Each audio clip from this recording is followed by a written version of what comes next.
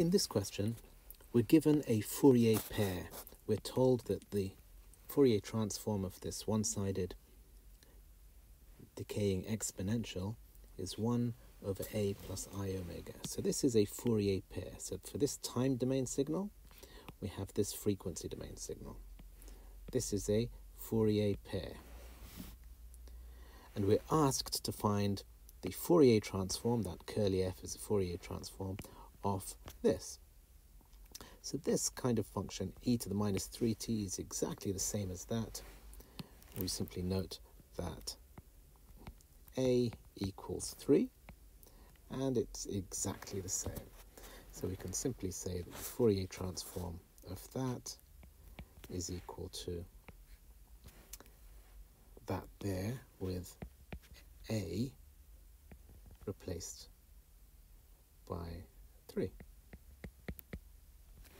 So obviously it's a function of frequency, so we leave omega there.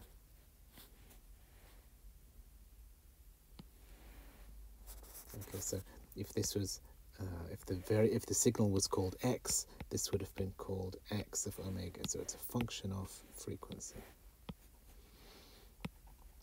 So that's for the first one. Now the second function is very similar, but this time we've got a scaling coefficient 4 and the, the value of a is 1. So here we have a equals 1 and we have this scaling factor there. So if I get this out of the way, the answer to this one will be 4 multiplied by 1 over a plus i omega, where I replace, instead of a, its value 1. And that 4 we can simply write up there, so it becomes 4 over 1 plus i omega. Okay, so that's that, and that one is there.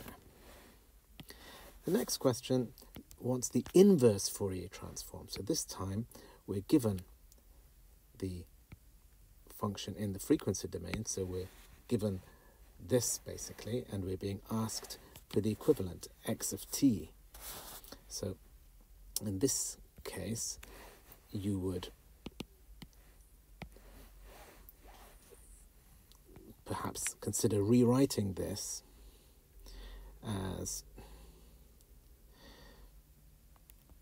the inverse Fourier transform of 1 over 2 plus i omega times 5.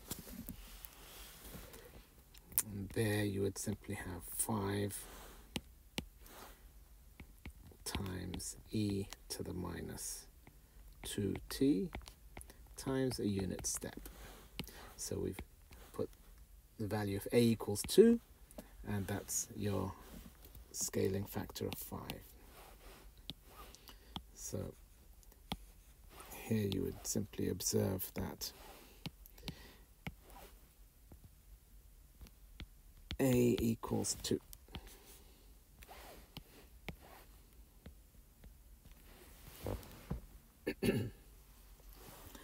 now for the last question, very similar, but this time the denominator doesn't look um, doesn't look like a plus i omega. We have this factor of 2, so I can't immediately assume that a equals 6. So I'd need to rewrite that. So I'd have to rewrite it as something like 1 over 2 is a common factor, 3 plus i omega. Now, this is similar to that. I can, I can now say a equals 3. So I can now look at that and say, well, a equals 3. So I can write the answer as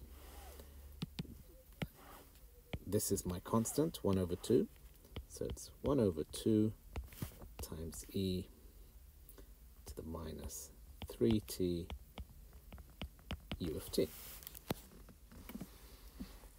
So we need to look at this very carefully to make sure it's in the right format before we um, rush to write the answer. So that's how you would answer a question